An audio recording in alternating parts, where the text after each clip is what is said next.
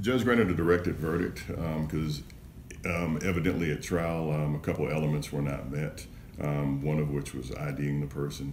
Um, and it is a rarity. Uh, it's in my years of, of practicing over 21 years. Um, the, when I was a defense lawyer, you know, it happened. Uh, I was able to raise that motion, you know, a few times and have things granted.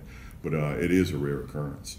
Um, to that end, what we've, you know, what we're doing in our office is just going back to, uh, I call it just really back to the basics. And uh, we're just going back and in training, training, training. We're working and training. And uh, what that means is almost like if, if you, it's akin to a training camp, whether it be baseball or football or any sport.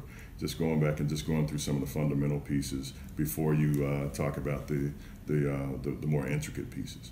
And so just ensuring that we're you know um, tight on the rules of evidence, uh, ensuring that we are just uh, following that checklist properly and doing all of the things we need to do. And bringing in experts and just other seasoned lawyers, and some of the lawyers in our office will even be uh, doing some of the some of the lecturing and some of the teaching. But but going through and, and, and, talking about how we do things and making sure that they're done properly each time. Um, again, it's a rarity. It's something that doesn't happen often. Um, just you know, as this happened in in this one occurrence, um, you know, I can tell you about probably 10 or 12 other cases, uh, you know, immediately uh, that, that, we've had success with. Um, in my short time here, we've had three murder cases that have gone to verdict with guilty, um, guilty sentences. Uh, or the verdict has come back as guilty, and um, one of which is a life sentence. Another received uh, 60 years. A, a third is awaiting sentencing.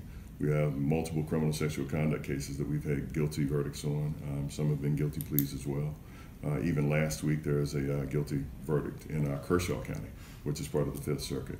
Um, and so, um, again, this is an outlier. and with the training that we're putting in place, uh, and, and, just reiterating just the essential things that always have to be done, uh, we don't expect for this to happen.